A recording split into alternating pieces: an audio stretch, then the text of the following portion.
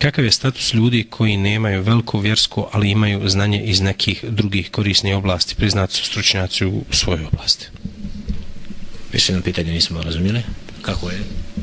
E, pitanje glasi kakav je status ljudi koji nemaju veliko vjersko, odnosno islamsko znanje, ali imaju znanje iz nekih drugih korisnih oblasti, da li tehnički, ekonomski nekih drugih e, segmenata, e, iz tih oblasti su priznati stručnjaci.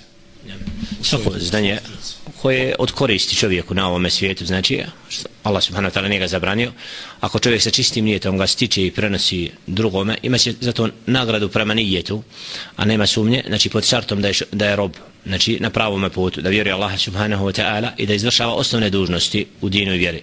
Jer nismo svi nekad pojmili i dok učili mnogo što šta imamo znanje koje je obaveza svakom muslimanu i muslimanki od ruknova dina i vjere, od namaza, od posta i onoga, i ako ču, od hađa, osnovni dužnosti koje Allah subhanahu wa ta'ala ostavio u obavezu svakome.